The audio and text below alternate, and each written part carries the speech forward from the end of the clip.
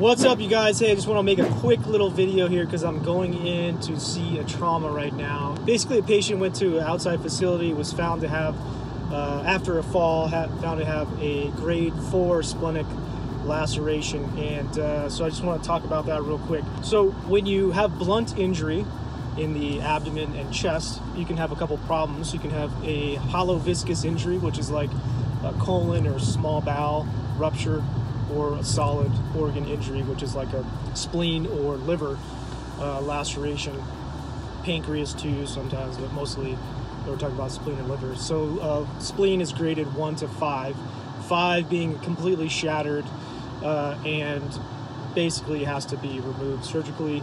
Uh, and then one being a little teeny ding, and they grade them based on the centimeters and uh, of the laceration. We call it laceration, but it's almost like a crack of the organ. And the spleen is just really friable, and so when you have a crack that uh, is too big, a lot of times it doesn't stop bleeding.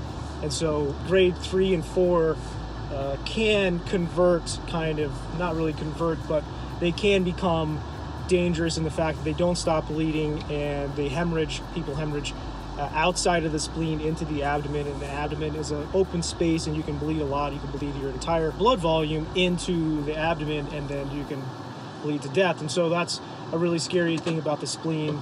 Uh, mostly, the liver somewhat too, but livers has to be really, really bad.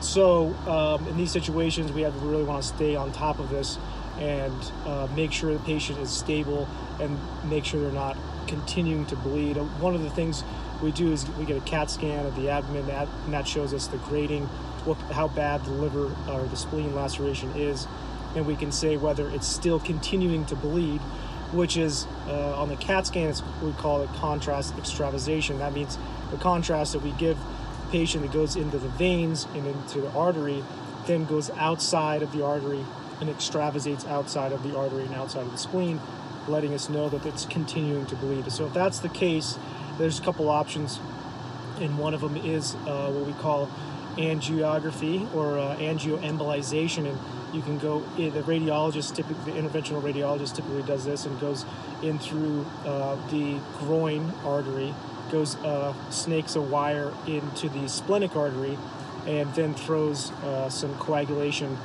uh, material into the splenic artery or into the artery that's actually bleeding, continuing to bleed in the spleen that can stop it.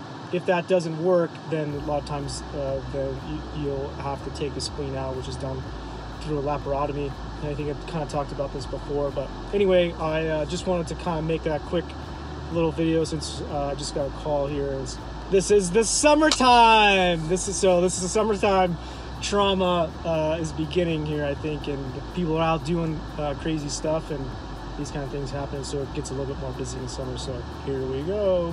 Hey, if you guys like these videos, you should share, subscribe, like, and all that stuff. Comment definitely.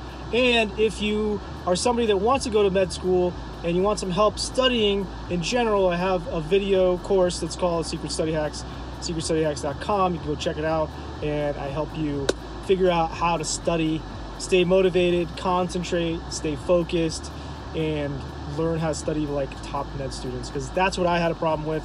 I had a 1.7 GPA in my second uh, year, second semester in college, and uh, I figured out how to study, and then I got straight A's after I figured out these uh, tricks here. So if you're in that situation, you want to learn how to study, go check it out. All right, see you guys next one.